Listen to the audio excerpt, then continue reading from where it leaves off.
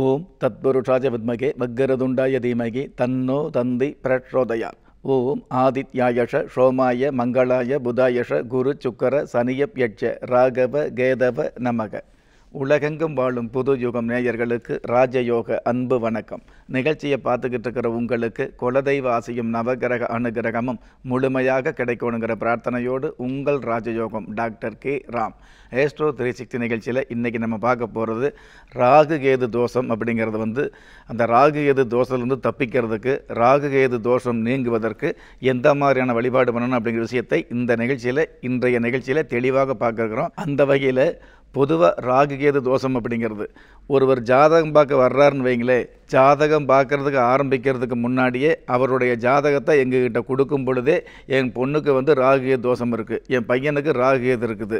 அதனால் திருமண தடை ஏற்படுது அப்படின்னு உங்களுக்கு நீங்களே சொல்லக்கூடிய அளவுக்கு இந்த ராகு கேதுவை பற்றி தோஷங்களை பற்றி இந்த சர்ப்ப கிரகங்களை பற்றி ஒரு தவறான எண்ணம் நிறைய பேருக்கு இருந்துகிட்டு இருக்குது அல்லது தவறான ஒரு பயப்படக்கூடிய சூழலும் நிறைய பேருக்கு இருந்துகிட்ருக்கு. பொதுவாக ராகு கேதுன்னு சொல்லக்கூடிய இந்த கர்ப்ப கிரகங்கள் எந்த ஜாதகமாக இருந்தாலும் இந்த ராகு கேது இருந்துகிட்டு தான் இருந்துகிட்ருக்கும் அதுக்காக வந்து ராகு கேது இருக்குது அப்படிங்கிறதுக்காக தேவையில்லாத மனோபயம் யாருக்கும் வேண்டாங்க.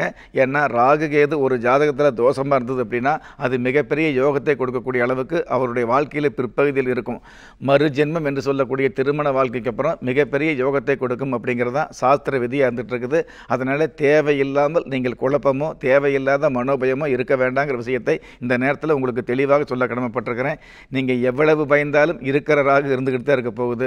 எவ்வளவு நீங்கள் வந்து பயப்பட்டாலும் இருக்கிற கேது பகவான் இருந்துக்கிட்டு தான் இருப்பார் ஜாதகத்தில் அப்படிங்கிற விஷயத்தை நீங்கள் முதல்ல மனசில் பதிய வச்சுக்கோங்க. அதற்கடுத்து இந்த ராகு அப்படிங்கிறது எந்த ஒரு ஜாதகத்தில் லக்னத்தில் ராகு இருக்குதோ அதற்கு நேர் ஏழாம் இடத்துல கலஸ்தர ஸ்தானத்தில் சப்தம ஸ்தானத்தில் கேது பகவான் இருப்பார்.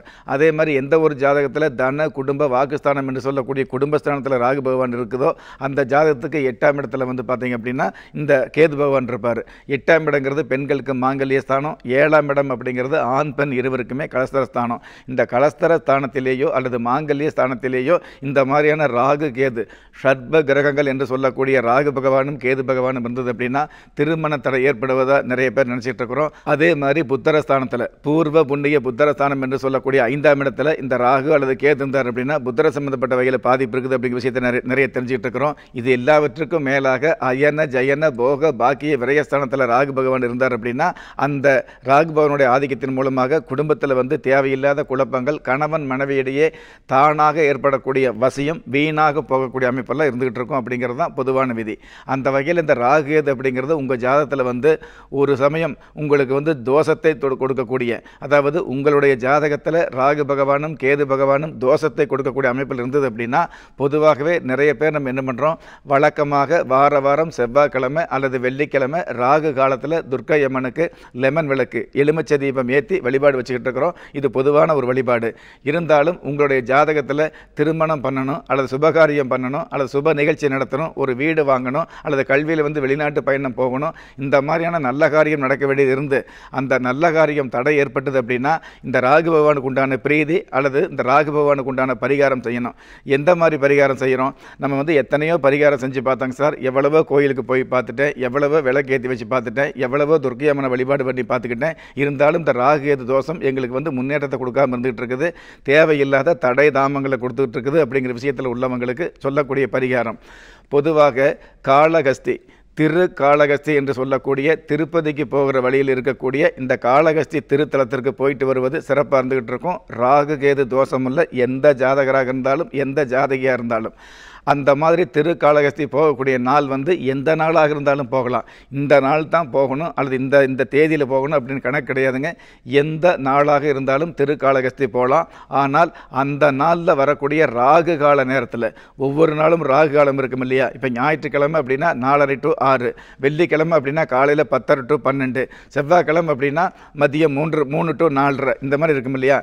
இந்த ராகு காலம் வரக்கூடிய நேரத்தில் நீங்கள் பிரார்த்தனை வச்சுக்கிறது மிக மிக சிறப்பாக இருந்துக்கிட்டு இருக்கும். காலை நேரம் மதிய நேரம் மாலை நேரம் அப்படிங்கிற கணக்குகளுக்கெல்லாம் அப்பாற்பட்டு ராகு காலம் வரக்கூடிய அந்த நேரத்தில் மட்டும் நீங்கள் பிரார்த்தனை வச்சுக்கிறது. எங்கே? திரு காளகஸ்தி என்று சொல்லக்கூடிய அந்த காளகஸ்தி திருத்தலத்தில் பிரார்த்தனை வச்சுக்கணும். அதுக்கு முன்னாடி இந்த ராகு தோஷம் உள்ளவங்க திரு காளகஸ்தி என்ற அந்த திருத்தலத்தில் ஒரு இரவு தங்கணும். அது வந்து நம்ம வந்து கோயிலில் அதாவது அந்த காலத்தில் வந்து கோயிலில் தங்கி இருந்து அடுத்த நாள் காலையில் அந்த கோயில்லையே குளிச்சுட்டு அதுக்கப்புறம் ஒரு சில பரிகாரங்கள் செய்யக்கூடிய அமைப்பில் இருந்துகிட்டு இருந்தது கடந்த காலங்களில். ஆனால் இப்போ வந்து அதற்கான வசதி வாய்ப்புகள் குறைவாக இருக்கிறதுனால தற்போதுள்ள காலங்களில் அந்த மாதிரியான கோயிலில் தங்குவதற்குண்டான வசதி வாய்ப்புகள் குறைவாக இருக்கிறதுனால அதே சமயம் வந்து கோயிலில் வந்து அனுமதி இல்லாமல் இருக்கிறதுனால நீங்கள் தனியாகவே ரூம் எடுத்து அறை எடுத்து தங்கிக்கலாம். ஆனால் எப்படி பார்த்தாலும் நீங்கள் கோயிலில் தங்கினாலும் சரி அல்லது அந்த ஊரில் திரு காளகஸ்தி என்று சொல்லக்கூடிய அந்த காலகஸ்தியில் எந்த ஒரு ஒரு இடத்துல தங்கினாலும் சரி அந்த காலகஸ்திக்கு உட்பட்ட பகுதியில் ஏதாவது ஒரு இடத்துல வந்து ஒரு இரவு கண்டிப்பாக தங்கணும்.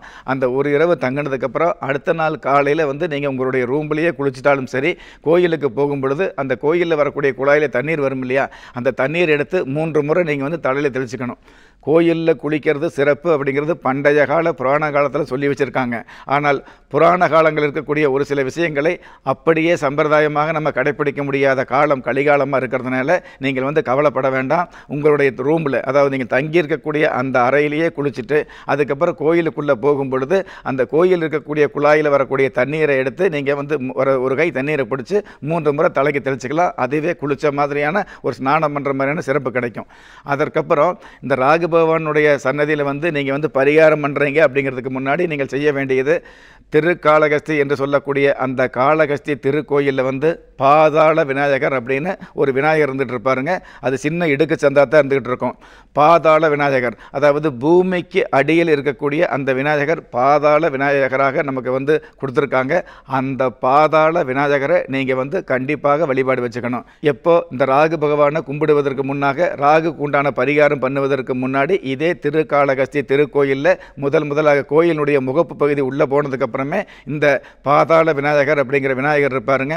வினைகளை தீர்க்கக்கூடிய விநாயகர் மட்டுமல்ல உங்களுடைய பாவங்களை தீர்க்கக்கூடிய கடந்த காலங்களில் கடந்த ஜென்மங்களில் கடந்த முற்பிறவையில் உங்களுக்கு இருக்கக்கூடிய பாவங்களை அடியோடு விளக்கக்கூடிய அமைப்பு இந்த பாதாள விநாயகருக்கு உண்டான மிகப்பெரிய சிறப்பாக இருந்துட்டு இருக்குது அந்த பாதாள விநாயகரை நம்ம நிறைய பேர் வழிபாடு வச்சுக்கிறது இல்லை அந்த பாதாள விநாயகரை வழிபாடு வச்சுக்கும் பொழுது அந்த பாதாளத்துக்கு நீங்கள் இறங்கி போகும் பொழுது நீங்கள் எவ்வளவுதான் அதிகாரம் உள்ளவராக இருந்தாலும் எவ்வளவுதான் ஆள்பலம் உள்ளவராக இருந்தாலும் உங்களுடைய கடந்த கால வாழ்க்கையை நினைச்சு அந்த பிள்ளையாரை அதாவது பாதாள விநாயகரை நீங்கள் இருகரம் கூப்பி நமஸ்காரம் வைக்கும் பொழுது உங்களையும் அறியாமல் உங்களுடைய கண்ணீரில் உங்களுடைய கண்ணில் தண்ணீர் வரக்கூடிய பாக்கியத்தை உணர முடியும். எதற்காக சொல்கிறோம் அப்படின்னா உங்களுடைய கண்ணில் அதாவது எந்த ஒரு சோகத்தையும் எந்த ஒரு கீதத்தையும் எந்த ஒரு சந்தோஷத்தையும் நினச்சி பார்க்காம இருந்தால் கூட அந்த பாதாள விநாயகரை உண்மையாலுமே நீங்கள் வந்து மன மனசார வழிபாடு வச்சுக்கிட்டு நமஸ்காரம் பண்ணும் பொழுது உங்களையும் அறியாமல் ஒரு சொட்டு கண்ணீராவது நிச்சயமாக வருதுங்க. அந்த ஒரு சொட்டு கண்ணீர் இந்த பூமியில் விடும் பொழுது அதுவும் அந்த பாதாளத்தில் வந்து அந்த ஒரு சொட்டு கண்ணீர் உங்களோட உங்களுடைய கண்ணீர் அந்த பாதாளத்தில் வந்து விநாயகருடைய அந்த விக்கிரகத்துக்கு முன்னாடி விழுகும் பொழுது எவ்வளவு பாவம் இருந்தாலும் எவ்வளவு தோஷம் இருந்தாலும் அந்த நிமிடமே அந்த தோஷத்திலிருந்து விடுபடக்கூடிய ஒரு வாய்ப்பு கிடைக்குது அப்படிங்கிற சிறப்பை யாராக இருந்தாலும் உணர முடியும்.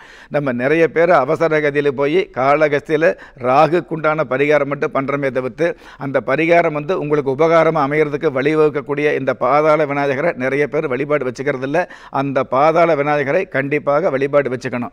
அதற்கடுத்து ராகு பகவான் சன்னதியில் வந்து சொல்லக்கூடிய பரிகாரங்கள் செய்யக்கூடிய பரிகாரங்களை முறையாக செஞ்சுட்டு அதுக்கப்புறம் வெளியில் வந்து நம்ம அன்னதானம் பண்ணுறோம் இல்லையா? நம்ம நிறைய பேர் நினைக்கிறோம் நாலு பேருக்கு அன்னதானம் பண்ணலாம் ஆறு பேருக்கு அன்னதானம் பண்ணலாம் அப்படின்ட்டு. அந்த மாதிரி இல்லாமல் உங்களுடைய வயசு உங்களுக்கு வந்து பத்து வயசாக இருந்தால் பத்து பேருக்கு அன்னதானம் இருபது வயசாக இருந்தால் இருபது பேருக்கு அன்னதானம் முப்பத்தாறு வயசாக இருந்தால் முப்பத்தாறு பேருக்கு அன்னதானம் பண்ணலாம்.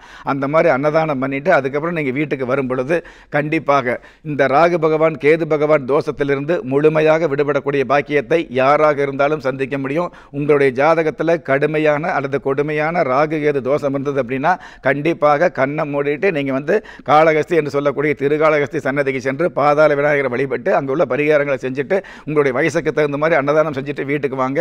கண்டிப்பாக உங்களுடைய குடும்பம் முழுவதுமே சந்தோஷமாக இருக்கக்கூடிய பாக்கியத்தை யாராக இருந்தாலும் உணர முடியுங்கிற விஷயத்தை நாம் நினச்சிக்கலாம். எது எப்படி இருந்தாலும் பொதுவாகவே ஒரு ஜாதகத்தில் எல்லா கிரகமுமே எல்லா ஜாதகத்துக்கும் நல்லது பண்ணாது.